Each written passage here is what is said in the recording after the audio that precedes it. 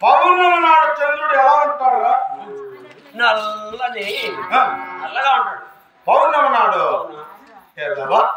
పౌర్ణమి నాడు చంద్రుడు పదహారు తలల చేత నిండుగా హాయిగా చల్లగా ప్రకాశిస్తూ ఉంటాడు. ఎక్కడ మచ్చ అనేది ఉండదంట పదహారు కళల చేత ఏ విధంగా ప్రకాశిస్తూ ఉంటాడో అలా ప్రకాశిస్తున్నది